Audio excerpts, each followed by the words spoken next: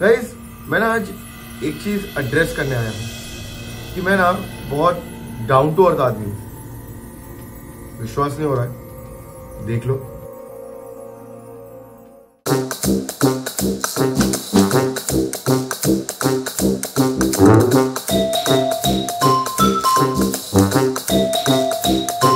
कैसा लगा मेरा मज़ाक आई होप कि आप लोगों को ये वीडियो देख के बहुत पसंद आया होगा। लाइक एंड सब्सक्राइब करें बिना जाना नहीं कहीं। मिलते हैं अगले वीडियो में।